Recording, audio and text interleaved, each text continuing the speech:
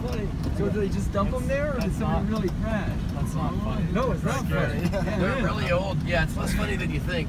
Um, Oh, No, I, really? I'm teasing you. I think I think those were crashes, but I also think that I mean those are really old car chassis. Those are like from this road's been here since like the uranium boom of the 50s and 60s. Oh, okay, so. okay. Well, Yeah. yeah. I don't mean to make it sound funny. No, it's all right. No, I- it's all right. Yeah. people, like, no, I guess that's how they are in Malibu. out. It's it's fine. scare the tourists. You know? usually in Malibu, those are the Ferraris. Yeah, right. Yeah, oh, those are just Porsches down there.